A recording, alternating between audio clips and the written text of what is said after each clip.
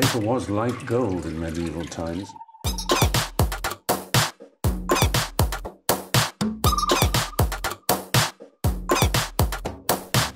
Oh, not tobacco, sugar. That everything we thought we knew about the world might turn out to be completely wrong. I'm visiting the baking capitals of the world, uncovering the tastes, traditions, and the recipes Look at that. of the world's best baking cities.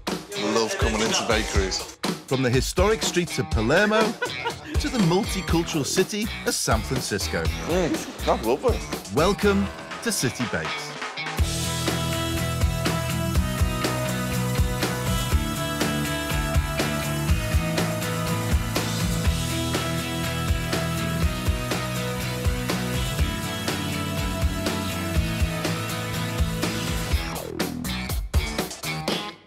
Chocolate con churros, an experience that will stay with me forever. This is called San Ginés, and apparently it's the best chocolate in Madrid. And I love chocolate. this is amazing. I mean, uh, it's just buzzing, and everyone's really excited about getting chocolate. It's like the massive Willy Wonka factory. The chocolate is served piping hot with the churros, which is a deep fried dough, a bit like choux pastry. The smell of chocolate is intoxicating. Look at the size of the churros. It's massive, like that. Nice. That chocolate is something else. Warm chocolate and deep fried dough. This must be a winner.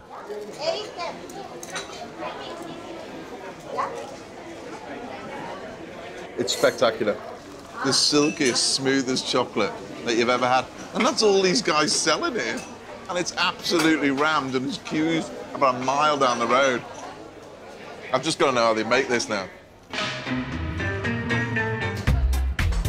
Us bakers are an understanding bunch, so I'm sure they won't mind me having a nose behind the scenes. Hola. Uh, In the kitchens, I find the bakers pounding a simple mixture of salt, water, and flour, and that's it. No butter and no eggs. But plenty of elbow grease.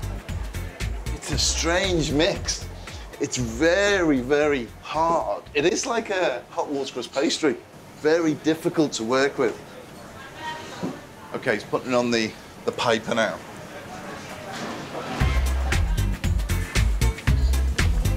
Mixing the dough suddenly feels like the easy bit.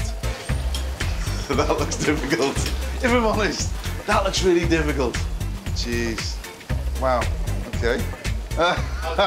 This isn't like any piping bag I've ever used before. It's really weird. It's really weird. It's like driving a bus. That's burst all its tyres. I mean, that's what the mints look like. Beautiful concentric circles going in. I think mine's a new one, to be honest. Um, I think it's probably going to sell quite well. The dough was certainly mixed to perfection.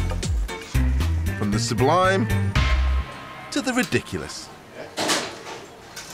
I like to call it puzzlement. I'm more used to being the judge, but now it's my turn to be judged. That's good, huh?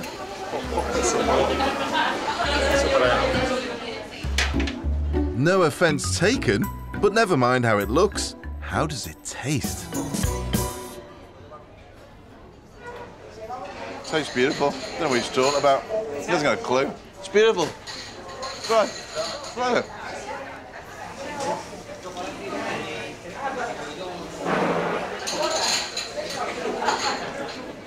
Might not look good, but it tastes amazing. I'm gonna have some more.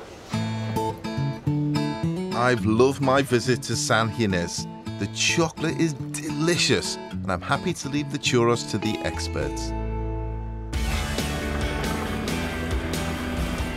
City Bakes sends me to the most beautiful places in the world, and this is one of them Bergen in Norway. Normally, when you travel in Europe, you go to any city, this bakery is pretty much at any corner. But here in Bergen, I've had to travel to the edges of Bergen to find another bakery. Now, this chain is the biggest chain in Bergen. But what gets me is it's so cold. I've got about eight layers on and I'm feeling it. My feet, my little pinkies, I can't feel. I feel they're going to snap off in a minute. Further around the bay is the warmth of Baker Brun. This family run business does have a few branches around the city, but this is their newest. Hello, Gunnar. Hello. Nice to meet you. I'm Paul. Yeah, welcome Nice to to meet. Baker Brun. I'm told the owner Gunnar can shed some light on the history of Bergen's baking. He too has lots of boller, but there's something else that's caught my eye.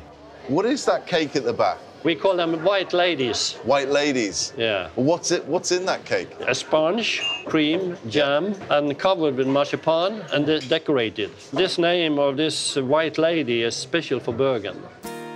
This sounds like a promising find. I can't eat. I can't eat all that. And that's for us too. The name comes from uh, Kaiser Wilhelm, who visited Bergen many times. It was back in the 1900s when the German Emperor Kaiser Wilhelm visited Norway and saw this cake. He thought it reminded him of a ghost of a white lady he had seen in the castle. But I ain't afraid of no ghosts. That is so nice. It's a really light sponge actually, but you have the macaron, which is slightly chewy down at the bottom. So you've got cream, you've got jam, you've got sponge, you've got marzipan, you've got macaron, and it's much lighter than you think. That is delicious. I mean, really, really good. With a local cake this good, why isn't the city full of bakeries? In Bergen, 100 years ago, we have something between 50, 60 bakeries In Ber- Bergen? In Bergen. Well, there isn't that many now. Now it's five, six. Before Norway discovered oil in the 1960s, it was one of Europe's poorest countries. But as it got rich quick, the old baking became unfashionable, and in Bergen today, only a few remain. The main bakeries are owned by the supermarket chains. Our future will be to be better than uh, the supermarket chains. Yeah. To be more individual rather than Yeah. just bringing in the mass Yeah. products. You're making individual things. Yeah.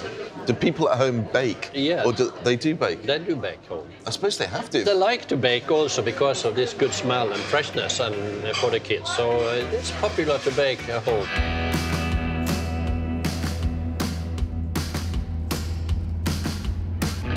I've just touched down in LA, the movie and entertainment capital of America.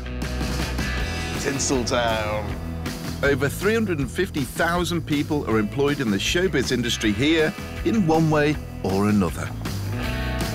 You do sort of feel you're in the heart of something special, something glamorous. In fact, next I'm heading northeast to trendy Pasadena because somewhere around here is a bakery whose purple cakes have created a social media storm. It's Cafe 86, and I'm here to see the owner, Ginger. Hello. Hi. That's your ginger? Ginger. Nice to meet you. How you Nice to meet You you, all right? Paul. Ginger's uniquely colourful bakes have become Instagram celebrities. This is our most popular item. The star of the show being the creme caramel topped ube cupcake. So people come for miles just to come and photograph this thing? They do. Why is it all purple? Well, we're Filipino. Yeah. So growing up, everything we ate for dessert would have something purple in it, and it's called ube. Ube. Ube. It's a purple yam. Back home, we make a jam out of it, eat it with a spoon. But we live in America now, so we kind of have to Americanize the ube to make it. Tell, tell me what Americanizing is. Americanizing it makes it into a cupcake. Okay. I make so it into a pound cake. Ginger may have ubed LA with their purple bakes, but I've never come across this stuff before. Okay. You ready to meet ube? is this it? Yeah. So what's the raw ingredient then? Ah. It looks, re- It's it looks very pretty. Yeah, it is. It is. Smells like a potato. Yeah, it smells like a potato. That is crazy. It's got a lot of, I'll say, white chocolate, coconut, vanilla hints in the flavor. What we normally do is we roast it in the oven Yeah. and you would grate it. This is the grated ube, with a little tin of evaporated milk and condensed milk, which is how we traditionally make the jam. Actually, it's quite nice. Yeah. It's a bit like a mousse. Yeah, okay, so let's not call it a jam. No, you can't call that, you can't call that a jam. But Ginger wants to show me how she makes ube truffles, starting with the base of leftover ube sponge. We put it in. the colour of that? Is that a sponge? That's a sponge. We bring it in here. We made some coconut cream cheese frosting. Yeah. So you put enough there just to get the cake into the consistency, just to bind it together and make it really, really fudgy. Roll them into balls. Purple balls. Delicious purple balls. That's what they are. Dip them in white chocolate and Oreos. Yeah. They have your chocolate balls. It looks incredible. Yeah, That's nice, that. that's nice, right? Mm, it is. Yeah. I'm happy to report Ginger's purple bakes aren't just a pretty picture, It's been an absolute pleasure, Ginger. Thank you, Paul. Thank you very much indeed. Love it. I think Ginger's a great character. And the fact that she's managed to master baking with ube is incredible. I'm in San Francisco for my very first time. That is pretty cool. It's 8 a.m. and I'm heading to a bakery that has people queuing around the block for just one of its bakes.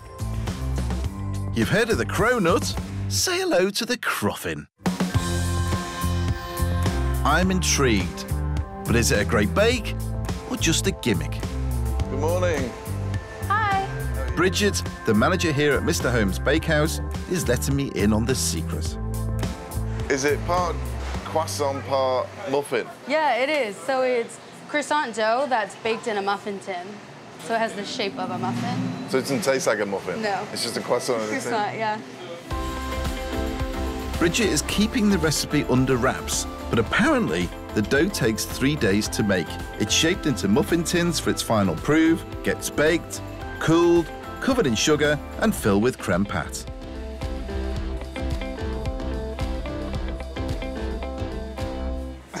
So uh, every day they have a different filling. Today is matcha. It's our most popular flavor. Matcha tea. So Yeah, you've got the flavour tea. of the matcha tea going through it. Wow, okay.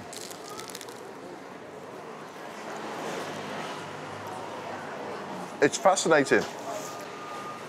It's clever. It's flaky, it's buttery, and it does actually taste quite nice. Although the bakery opens at 7 a.m. for general pastry sales, the cruffins don't come out till 9, and the sales are restricted to two per person. That's a great ploy. All for a cruffin? I wouldn't queue up for anything for half an hour. Time for me to get my hands on and help put this lot out of their misery. Okay, guys, start coming in. Hello. How many cruffins are we doing today? Two. Thank you very much. Hi. How many cruffins are we doing today? But what's obvious is these guys aren't just here to eat cruffins, You taking a picture with a cruffin? Yes. Why? Yeah, because Why, you, why, why do you want a picture of that? I don't know. I, I guess uh, because everyone else has a picture of it. That's what it is, isn't it? That's Yeah. what it is, because Yeah. everyone else has got one. This is mad, isn't it? I can't knock it though, especially as we're in the motherland of computer tech and social media. Instagram, Google, Facebook, and Apple are all San Fran Bay innovations. So it seems right that the city has a baking internet hit all of its own. In for a penny, in for a pound. At the end of the day, no matter how cool or trend setting it is, anyone getting people excited about bakes and baking is no bad thing in my book. It's fascinating. It's all about the internet. It's all about that feeling of we're getting something special, we're getting something that no one's going to get. And that, I think, is fascinating to see. I'd be selling tea and coffee up the line as well, making a few quid. For sun, sea, and some seriously jaw dropping scenery, Cape Town is hard to top. It's where the Atlantic and the Indian Oceans meet, and cities don't come with much better backdrops. There. Look at the colour of that bakery. Does that represent the Rainbow Nation? It could do. In fact, this is my first bakery, where I've enlisted the help of one of South Africa's most popular celebrity chefs, Siba Mtongana. She's got her own show on the Food Network and is also a foodie TV judge. Sound familiar? I've come to meet her in District 6, a suburb just outside the city centre. Hello, Siba. How are you? You're right. How are you? Ah, Nice to see you. You're nice right. to see you. What is it about Cape Town and baking? Food and baking is a thing. Uh, Specifically with baking, I mean, baking, you would know, has just taken the world by storm, and we are right in there. Siba wants to kick things off here at Charly's, a bakery that takes the Rainbow Nation slogan literally and celebrates modern South Africa in uber colourful bakes. I absolutely love it. It is vibrant, it is for the young, for the old. It literally has changed the landscape. It's the brainchild of husband and wife team Charly and Jackie Biess. Charly sadly is no longer with us, but it's still very much a family affair. Daughter Daniela works here too. You can see the variety of colours of the cakes. Most definitely. Charly trained as a master baker in Germany, bringing traditional cake making skills, whilst Jackie's injected the colour and the fun. I came in with the crazy, no experience whatsoever in baking or decorating except what Charly had taught me. I need to try one of these actually. Let's try one. I love the Amarula Ultimate Chocolate. That looks Simply great. because Amarula is such a popular liqueur that we're known for. So Yeah. I'm gonna have a slice of that, please. It might be packed with chocolate and South African booze, but it's the goal that makes it unmissable. That's a big slice of cake, isn't it? we can share one. Wow. It's a beautifully soft, moist cake that does melt in the mouth. And actually, the ganache on the outside is delicious. The amarula comes through. Yeah, I like that. That's a great cake. Do you like the gold? I do like the gold. It's very blingy. It's very blingy. Yeah. Eye-catching. Siba's next choice of cake has even more going on than the last. It's a carrot, banana, pineapple, and mango cake. It's Yes. got a layer of mango in the middle, and it's got a cream cheese icing. Yes, please. Can I try a slice of that? Thank you. You go first. Wow. More like a carrot cake consistency. Mm. It's a rich cream cheese on the top. It's like silk. Delicious. It's a carrot cake on steroids. This is very traditional to Cape Town? Uh, now, this is the thing with Cape Town. We look at influence with what's happening in the world, Mm. and we take it in, we make it our own, and we just give it some steroids, as you said. Yeah. Always take it to the next level. Taking their bakes to another level seems to be rather a theme here, even with a classic chocolate fudge brownie, You get a slice like this. Which gets smothered in even more chocolate Dear me. That's ridiculous. for one almighty indulgent bake. Yeah. That's chocolatey, all right. And this place isn't just an assault on the taste buds, but on the eyes too. I've never seen piping this colourful. For Jackie's team, anything and everything goes, and it's all done at breakneck speed. Time to unleash my arty side. I haven't piped for ages. Oh, no, see? Why don't you teach Paul our tip of starting and stopping? We start touching down, and then we lift quite high up and allow it to fall. Yeah. Okay.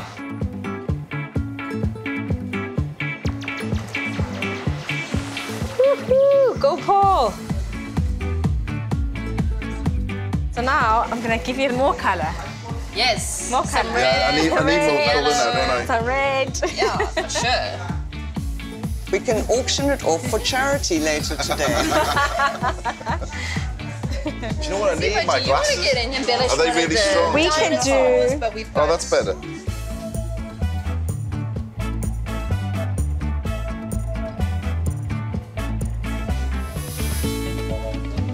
I bet you've never seen me so quiet.